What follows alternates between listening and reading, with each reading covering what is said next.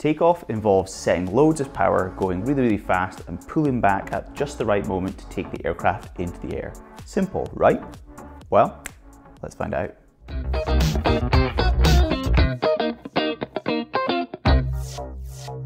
Hi, I'm Grant and welcome to the fifth class in the Performance series. Today we're going to be taking a look at the takeoff procedure and what sort of performance parameters we need to achieve in order to do this maneuver safely. The takeoff is the segment of the flight right at the beginning. It starts when the aircraft begins to accelerate down the runway until the aircraft has left the ground and cleared something which we call the screen height. The screen height is basically this imaginary wall and the lowest part of the aircraft has to clear this imaginary wall. And the lowest part of the aircraft usually is either the main gear or the tail of the aircraft as we rotate up. And for class A operations, think like jets, the screen height is 35 foot high and for Class B, small piston propeller type things, it's 50 foot high. We can also split the takeoff into two sections, the takeoff run and the takeoff distance. The takeoff distance is the total distance from the start of acceleration to clearing the screen height, and the takeoff run is the part basically where the wheels are on the ground. And it will end as soon as the main landing gear starts to come off the ground as we rotate the aircraft and apply back pressure to the controls to pitch up. We begin this rotation at uh, VR speed, speed for rotate, and when the wheels actually come off the ground, that would be VLOF, V lift off. These V speeds will be an assigned indicated airspeed depending on the weight and the environmental conditions. And whilst we fly these speeds at the indicated values that we can actually see on our instruments and dials, the speed of rotate and lift off actually are all to do with the lift equation and therefore the true airspeed. So the true airspeed is what's important, but when we are at slow speeds, the indicated airspeed is roughly equivalent to the uh, equivalent airspeed, and there's the relationship between equivalent airspeed of and true airspeed of a uh, true airspeed multiplied by the square root of the density versus the density at sea level. What that actually means is, say we are at an airport that's above sea level, where the density would be less then for the same indicated airspeed at sea level, the true airspeed would actually be faster. That means that the air traveling over the wings is faster, and to get the air traveling over the wings faster, we've got to go faster down the runway, using up more distance to do so. If we put some numbers into this equation, for example, and say we needed an indicated airspeed or equivalent airspeed of 150 knots um, for takeoff at sea level, then if we're at sea level, we know that the true airspeed is going to be basically 150 knots as well, because that will equate to 1, square root of 1 is 1. But if we go up to where the density is maybe only 1 kilogram per uh, meter cubed, and then divide that by the sea level ISA of 1.225, then this basically comes out to be 0.9. So 150 knots equals TAS times 0.9. The true airspeed will have to be higher, and that means that the true airspeed is actually 167 knots, meaning we have to travel faster and we'll cover more of the runway, have a longer takeoff run and takeoff distance as a result of this increase in altitude. That's just one of the factors that influence the takeoff distance and takeoff run, and now we'll have a look at a few more. Mass is quite a simple environmental factor or physical factor that's easy to understand. We basically need more lift to get the aircraft into the air because we are heavier. Therefore, if we don't change anything else, we to fly a faster speed. To get to this faster speed, we need to cover more of the runway and we'll increase the takeoff roll and the takeoff distance required as a result. And as we increase the mass more and more and more, we extend the takeoff distance required up to the point where we have no runway left. Or, in other words, our takeoff distance is equal to the takeoff distance available. Then we would have a value for our takeoff mass that we'd be limiting. We wouldn't be able to add any more mass or we wouldn't have enough runway to accelerate up to the required speed that we need for takeoff we would call this limiting mass our runway limited takeoff mass, or RLTOM. It's sometimes referred to as the field limiting takeoff mass, um, which would apply for the flap setting that we currently have for takeoff. By changing the flaps, we basically increase the camber of the wing and surface area so we can achieve more lift for flying at a slower speed. That means that we don't need to accelerate as much to achieve the required lift that we need. And that would reduce the takeoff distance down because we don't need to accelerate up to that higher speed. And we could reduce it back down to below the TODA if we were approaching the maximum takeoff distance that was available. This means that we would have the opportunity to add a bit more mass because then we have room to accelerate a bit faster up to a higher speed to generate enough lift to take care of that mass so that the takeoff distance again equals the takeoff distance available. This is basically why we use flaps during takeoff and why we have a different uh, runway limited takeoff mass for each different flap setting. It allows for a lower liftoff speed compared to an aircraft without flaps, therefore allowing us to take off heavier, extending back out the takeoff distance and we like to take off heavier because usually that means more bags, more passengers, uh, and that's paid for space and it makes us some money. Flaps increase the camber and surface area of the wing, but they also increase drag beyond a certain level. So there's kind of a sweet spot for flap use where the added drag doesn't reduce the amount of acceleration too much whilst giving us that added benefit of lift, that uh, reduced acceleration speed, the potential to extend it out and take more weight. Increasing altitude and more importantly a reducing density makes the true airspeed for the equivalent indicated airspeed we need to take off faster and we cover more runway. That's what I was talking about at the very start. A lower density also means we have a reduction in thrust. Remember uh, that lower density is bad for thrust generation because engines are all about mass acceleration. If we have a lower thrust, that means a slower acceleration and the reason behind it is basically because F equals ma. Uh, if we rearrange it then A equals F over m. The forces during takeoff are thrust minus drag. If we have less thrust then this whole number is going to be lower and that means that our acceleration rate will be lower as well. If you combine that with the indicated airspeed versus true airspeed problem, then we can be quite limited on high up aerodromes. And these limits will always come in the form of a weight limit. So for higher aerodromes, we would have a lower regulated uh, runway limited takeoff mass than at an airport at sea level, for example. Temperature is a very similar story to altitude. Temperature reduces air density and therefore we have less thrust produced, less, less excess thrust and again a lower acceleration. This has the same effect as with altitude, a longer takeoff distance or a lower runway limited takeoff mass. The increase in temperature, reducing the density, also has the same effect uh, for true airspeed versus indicated airspeed. The true airspeed will be higher than the indicated airspeed.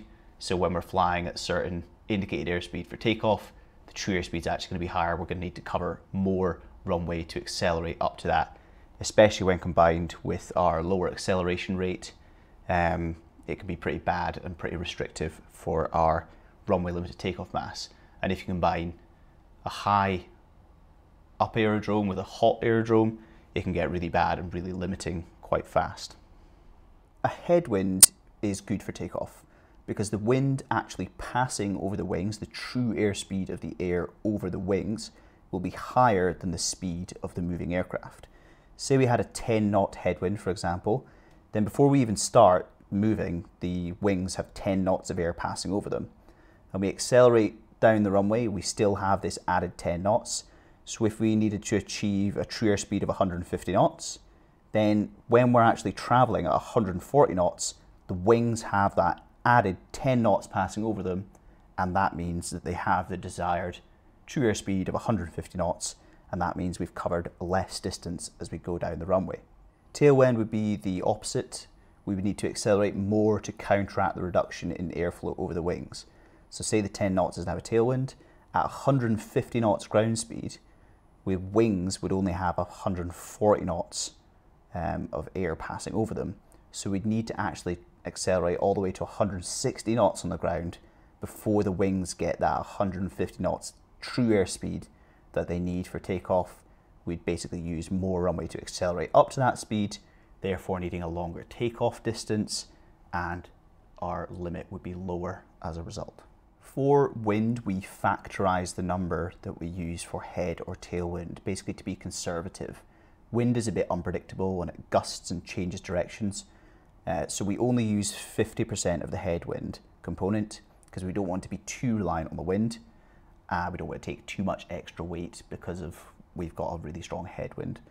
And for tailwind, we multiply the component by 1.5, take 150% of it so that we overestimate its power and therefore don't underestimate the strength of it and we don't take more weight that we can handle with an added gust of wind. Winds are rarely straight down the runway, so we have to break the wind into the component parts using trigonometry to figure out the headwind and the crosswind component. We basically use the difference in angle between the runway and the wind, then we multiply by sine theta to get the cross component, and if we multiply by cosine theta, we get the head or tailwind component, which I'll show an example now. At LEAL, Alicante, what runway would you use for takeoff and what wind component would you use for takeoff when the ATIS wind is 250 at 30 degrees?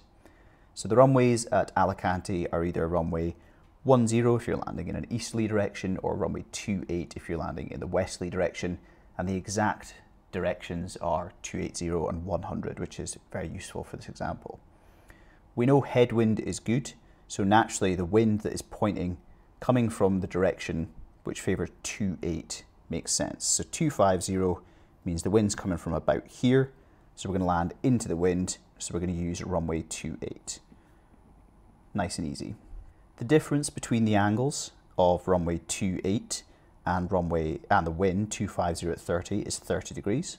To calculate the crosswind, we do uh, we use the sine of the angle because it equals the opposite over the hypotenuse. So if we do 30 knot wind multiplied by sine 30, we would get the crosswind component. So the crosswind component is sine 30's uh, half, so it's going to be 15 knots. Um, and the headwind component, we do 30 times cosine theta, which is 30 degrees. So headwind component if you calculate this out, it basically comes out as 26 knots, which seems a bit weird. How can the two components make up more than the wind itself? Um, that's just trigonometry, I'm afraid. It's quite strange like that. So we've got a headwind of 26 knots, but remember, we only use 50% of that. So the component that we'd actually use is 13 knots. So we're on runway 28, and we're considering the headwind to be 13 knots for our takeoff calculations. So there are certain runway characteristics themselves that are very useful for us during takeoff. Obviously, a long runway is good for takeoff. If it's really long, we can get to a weight limit for takeoff that is actually above our structural limit for our aircraft. So say we calculated using the takeoff all the takeoff distance available with current temperature and pressure and flap setting, our weight limit for takeoff, our runway limit to takeoff mass was 8,000 kilograms. If our aircraft had a maximum structural limit, um, a MTOM, a max takeoff mass, of 7,500 kgs, then obviously we're not going to be able to take 8,000 kgs as limited by the runway. So we use the more restrictive one and we'd actually only be able to take the 7,500 kgs. And this is what we would call our regulated takeoff mass, which is our RTOM. You might also see runway limited as field limited, you might see it as uh, performance limited, so it might be P uh, TOM, for example.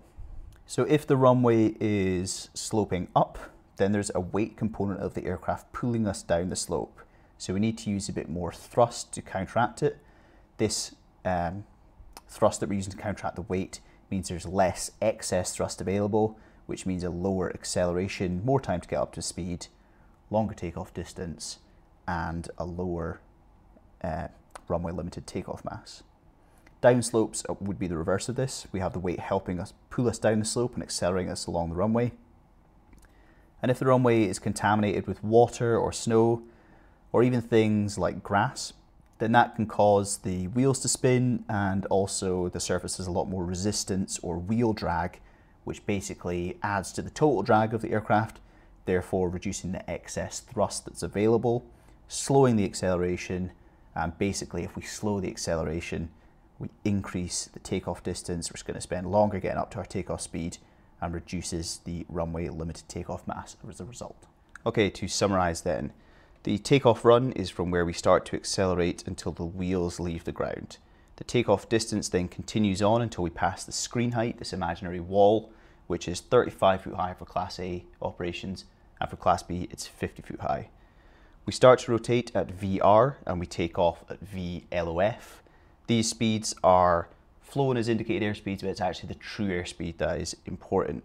And as soon as we leave uh, sea level and change our altitude up, the density drops, which means that our indicated airspeed versus our true airspeed, there's a difference. The true airspeed's higher. So when we're flying at 150 knots indicated airspeed, it's actually a lot higher true airspeed, meaning we've got to accelerate more and we cover more of the runway as we do that. Mass basically is uh, restrictive for our takeoff distance. The more mass we have, the more lift we need.